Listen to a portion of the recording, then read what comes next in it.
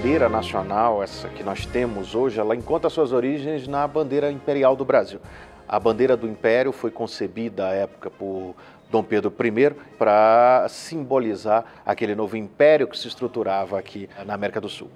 O verde das nossas matas e o amarelo do nosso ouro nada mais são do que uma construção republicana para tentar se sobrepor ao simbolismo do império, porque de fato verde e amarelo são referências ao primeiro imperador e a sua esposa, a imperatriz Leopoldina. Dom Pedro I vinha da Casa de Bragança, daí o verde, que é a cor da Casa de Bragança, enquanto Dona Leopoldina era arquiduquesa da Áustria. E a casa que reinava na Áustria à época era a Casa de Habsburgo, cuja cor era o amarelo. E o losango é um símbolo feminino em heráldica. Foi uma homenagem que Dom Pedro I fez à imperatriz Leopoldina.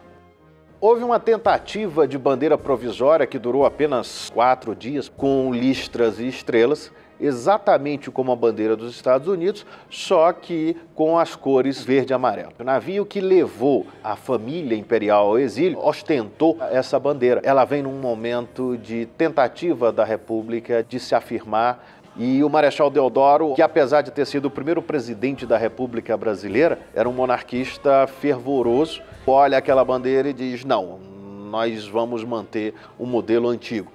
O círculo central da bandeira brasileira, com os dizeres ordem e progresso, ele vem substituir o brasão do Império que havia sido pintado por Debré nós temos o céu da proclamação da República, o ordem e o progresso, que simbolizava as ideias positivistas, as ideias relacionadas a um Brasil novo e a um Brasil republicano. O positivismo é uma filosofia baseada nas ideias de Augusto Conte. Ela preza muito a ciência e a razão como elementos norteadores dessa filosofia.